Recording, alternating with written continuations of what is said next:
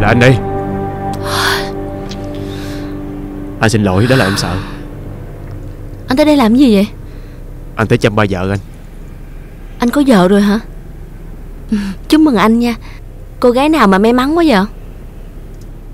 Là Ngọc Quyên Em biết mà. Cuộc sống em sao rồi?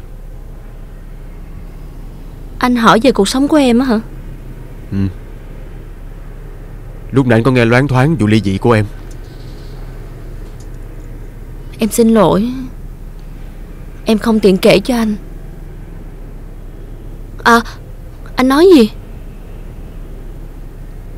Em nói chuyện với mẹ. Anh nghe được hết hả? Sao anh nghe được hay vậy? Hả? Chuyện đó không quan trọng.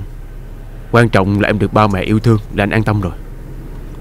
Từ trước tới giờ ba mẹ lúc nào cũng yêu thương em mà. Em nên nghe lời mẹ của em. Tránh xa Châu Vĩnh ra Càng xa càng tốt. Tốt nhất là nên cắt đứt mọi liên lạc với anh ta. Tại sao lại nói như vậy? Anh ta rất là nguy hiểm. Thôi Bây giờ anh phải đi rồi. Anh rất vui khi gặp lại em. Em nhớ bảo trọng nha